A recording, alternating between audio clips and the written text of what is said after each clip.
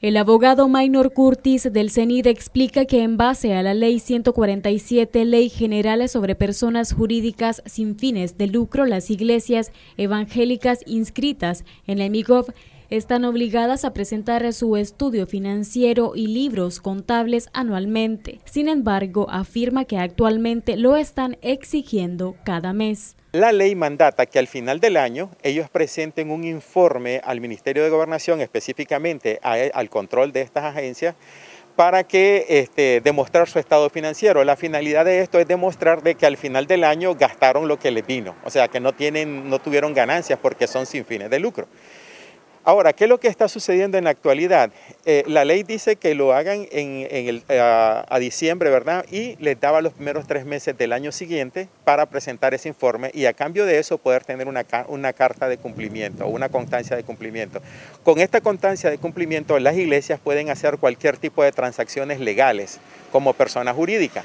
Eh, por ejemplo, eh, mover sus cuentas de los bancos, y hacer cualquier cosa, abrir cuentas de bancos, hacer donaciones, eh, pedir solicitudes a, las alcaldías, eh, etc.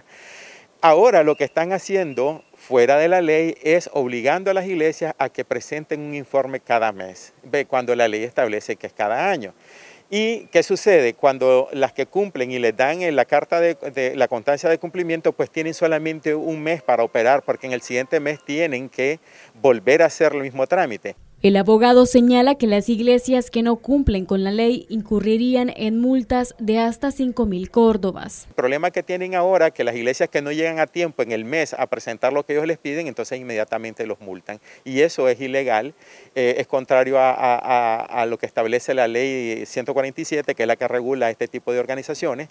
Y, por ende, pues estamos en un retroceso eh, porque se están violentando los derechos de estas y las obligaciones de estas entidades que están establecidas en la ley. El artículo 22, creo, de, la ley, si, no, estoy, no estoy 100% seguro que sea ese, pero habla de los rangos de 1.000 a 5.000 córdobas de multa.